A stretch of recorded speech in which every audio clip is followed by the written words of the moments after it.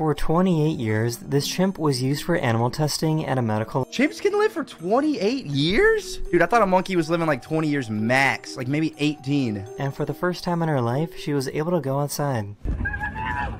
Oh my god. Oh my god. That is insane. That's so, like, that's sad.